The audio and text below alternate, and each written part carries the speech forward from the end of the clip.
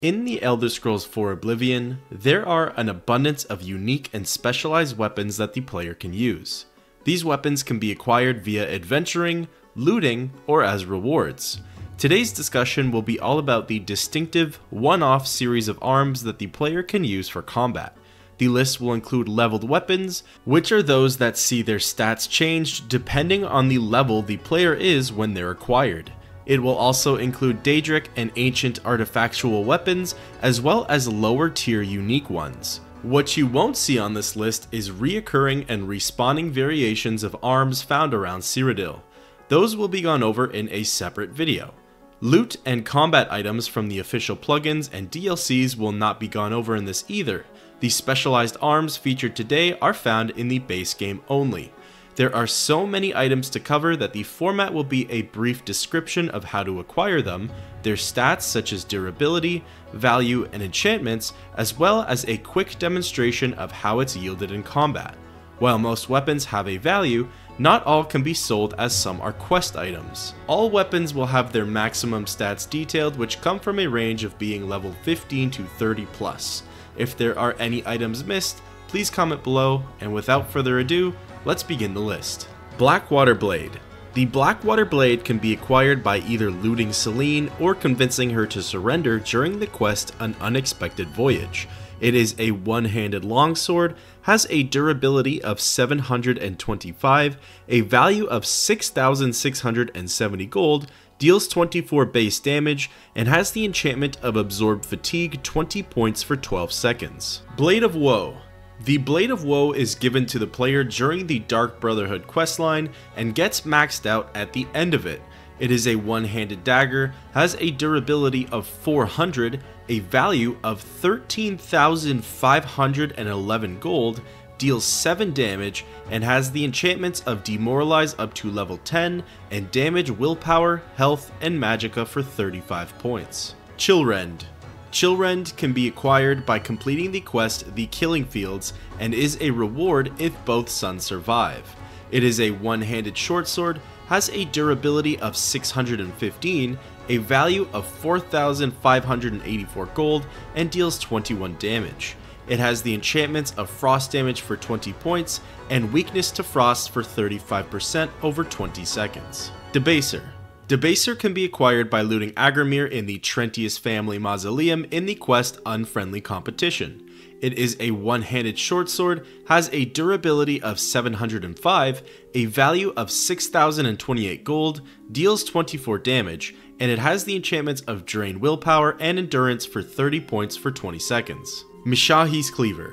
Mishaxhi's Cleaver can be acquired by looting one of the cursed undead blades in Sancre-Tor during Blood of the Divines. It is a two-handed Akaviri blade, has a durability of 240, a value of 1417 gold, deals 24 base damage, and it also has an enchantment of Disintegrate Armor for 80 points. Northwind. Northwind can also be acquired by looting another undead cursed blade in Sancre-Tor during the Blood of the Divines quest. It is a one-handed Akaviri blade, has a durability of 240, a value of 1393 gold, deals 15 damage, and has the enchantment of frost damage for 20 points. Red Wave. Red Wave can be acquired by completing the quest The Ghost Ship of Anvil. It is a one-handed cutlass that has a durability of 850, a value of 246 gold, deals 11 damage, and has the enchantment of Drain Health for 15 points for 6 seconds. Sufferthorn. Sufferthorn can be acquired as a reward during the Dark Brotherhood quest of Accidents Happen. It comes in the form of a bonus. It is a one-handed dagger that has a durability of 705, a value of 3277, deals 9 damage, and has enchantments of damage health for 35 points and drain strength for 20 points. Thornblade. Thornblade can be acquired as a reward for completing the quest The Wayward Knight. It is a unique one-handed blade, has a durability of 705, a value of 6,760 gold, deals 24 damage, and has the enchantment of Disintegrate Armor for 120 points. Wit Splinter. Wit Splinter can be acquired by looting Faustina Cartia during the quest A Siren's Deception. It is a one-handed dagger, has a durability of 532, a value of 3,895 gold, deals 19 damage, and has the enchantments of Damage Magicka for 35 points and Drain Intelligence for 10 points for 20 seconds. Burz's Glass Mace Burz's Glass Mace can be acquired by pickpocketing Burz gro-Khash, the leader of the Cheydinhal Fighters Guild while he sleeps. It is a one-handed mace, has a durability of 460, a value of 750 gold, deals 20 base damage, but does not have any enchantments. Hatred's Heart Hatred's Heart can be acquired via exploring the Oblivion Gate that is opened outside of Chorrol after completing Dagon Shrine. It is a one-handed mace, has a durability of 672, a value of 5146 gold, deals 24 base damage, and has the enchantments of Drain Speed for 30 points for 45 seconds, and Fire Damage for 35 points. Rock Shatter Rock Shatter can be acquired by looting Bjolfi during the quest of When the Vow Breaks. It is a one-handed mace, has a durability of 672, a value of 4,517 gold, deals 24 base damage, and has the enchantments of shock damage for 20 points and weakness to shock for 35% for 20 seconds. Hatred Soul Hatred Soul can also be acquired by exploring the Oblivion Gate that is opened outside of Chorrol after completing Dagon Shrine. It is a bow, has a durability of 600, a value of 5146 gold, and deals 24 base damage. It has the enchantments of Drain Speed for 30 points for 45 seconds, and Fire Damage for 35 points. Shadow Hunt Shadow Hunt can be acquired as a reward to the player for completing the bonus task during the Dark Brotherhood quest of the Lonely Wanderer. It is a bow, has a durability of 100, a value of 3,678 gold, and deals 10 base damage. It has the enchantments of Drain Health and Magicka for 20 points, Turn Undead up to level 32, and a weakness to poison for 20%. Mankar Camoran's Staff Mankar Camoran's Staff can be acquired by looting his body during the main quest of Paradise. It has 161 charged uses, a durability of 200, a gold value of 2112, deals 7 points of shock damage as well as disintegrate armor for 10 points. Staff of Indarys. The Staff of Indarys can be acquired as a reward to the player at the end of the Wayward Knight quest. It has 30 charged uses, a durability of 100, a value of 3,920 gold, and deals 70 points of shock damage as well as 10 points of damage strength. Staff of Nenalata. The Staff of Nenalata can be acquired during the quest Secrets of the Ayleid Ruins and is found on the body of the King of Nenalata. It has a charge of 17 uses, a durability of 20, a value of 692 gold, and has the enchantments of Drain Willpower for 10 points and Dispel for 50 points. Akaviri Sunderblade. The Akaviri Sunderblade can be acquired by purchasing it at the Three Brothers Trade Goods in the Imperial City Market District. It is a one-handed Akaviri blade, has a durability of 350, a value of 2,780 gold, deals 15 base damage, and has enchantments of Disintegrate weapons and armor for 100 points. Baurus's Akaviri Katana. Baurus's Akaviri Katana could be acquired by looting his body if he dies at all during the main quest line. It is a one-handed Akaviri blade, has a durability of 240, there is no value in gold, and deals 15 damage. It also has no enchantments. Brusef Amelion's Sword. Brusef Amelion's sword can be acquired while plundering the Amelion's family tomb during Amelion's debt quest. It is a one-handed longsword, has a durability of 250, a value of 327 gold, deals 14 damage, and has an enchantment of frost damage for 5 points. Salia's Steel Longsword. Salia's Steel Longsword can be acquired by picking it up from a tombstone at Applewatch after the Dark Brotherhood quest is completed next of kin. It is a one-handed longsword, has a durability of 192, a value of 45 gold, deals 12 base damage, and has no enchantments. Captain Cordon's Saber. Captain Cordon's Saber can be acquired by purchasing it from Tertia Viducia at the March Rider in Cheydinhal.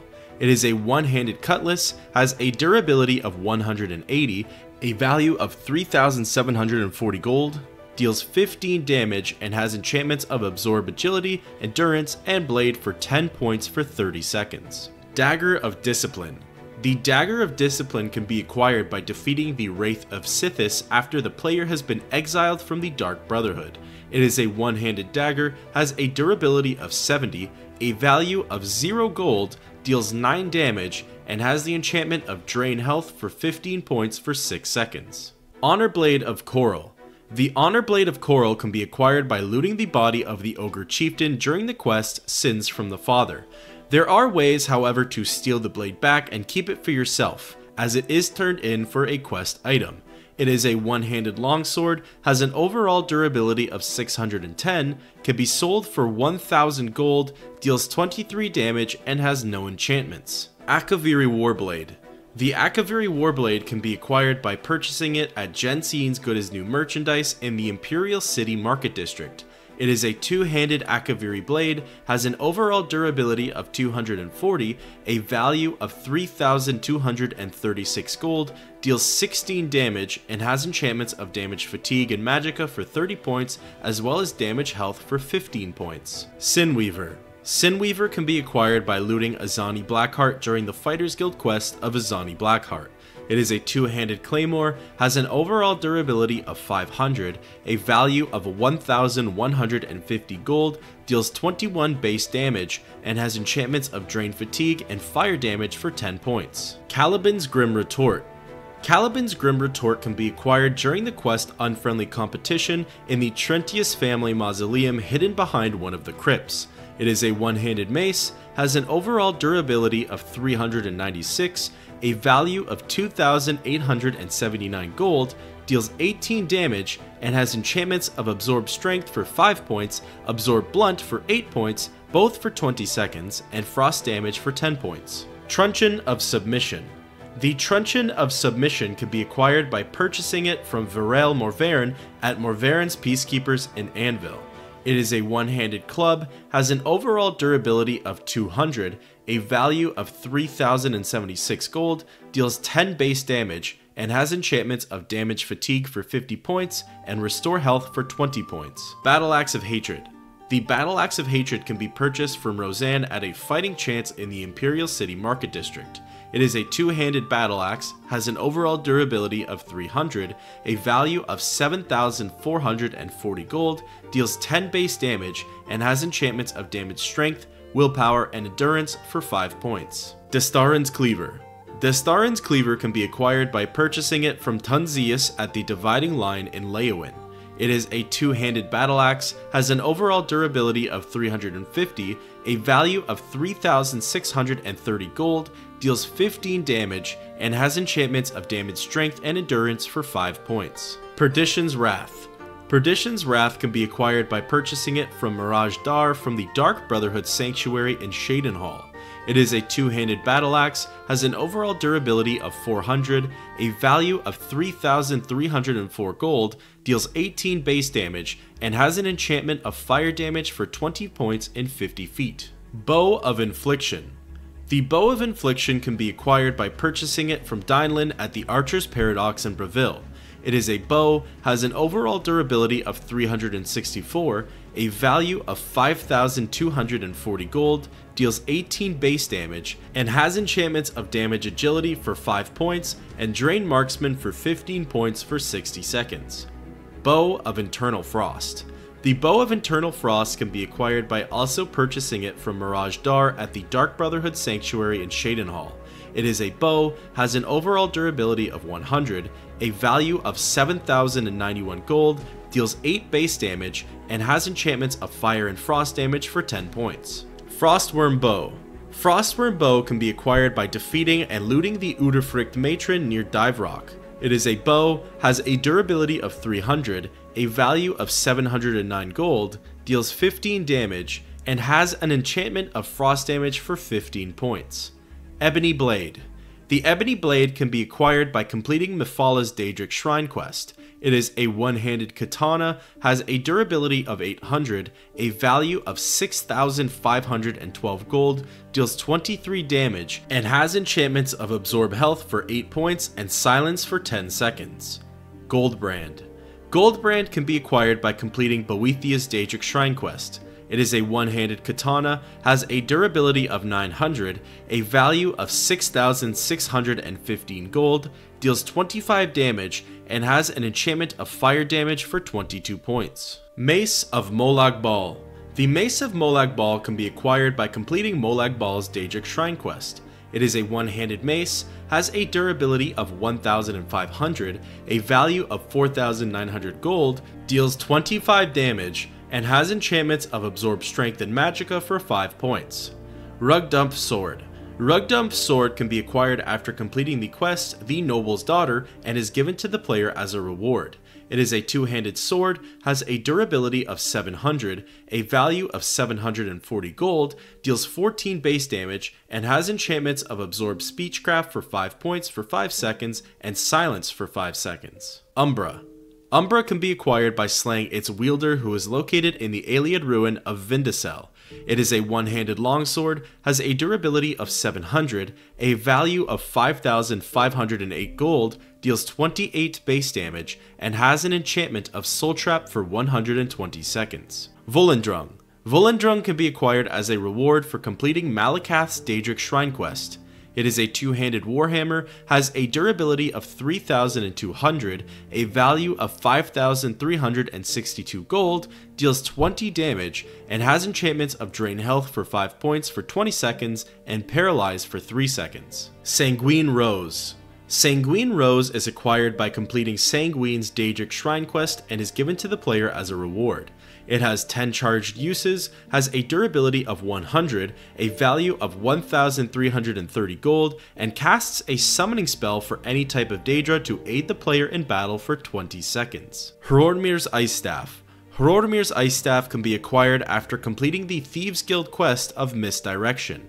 It appears as a quest item, but can be looted again afterwards. It has 10 charged uses, a durability of 30, a value of 1239 gold, has the enchantments of frost damage for 10 points in 30 feet, light for 30 feet for 30 seconds, and 1% chameleon for 30 seconds. Skull of Corruption the Skull of Corruption can be acquired by completing Vaermina's Shrine quest and is given to the player as a reward. It is a staff, has 20 charged uses, a durability of 100, a value of 1270 gold, and has the enchantment titled Corruption. Corruption creates a clone of the target that is hostile towards the target. Staff of Worms. The Staff of Worms can be acquired by defeating and looting Mannimarco's body at the end of the Mages Guild quest titled Confront the King.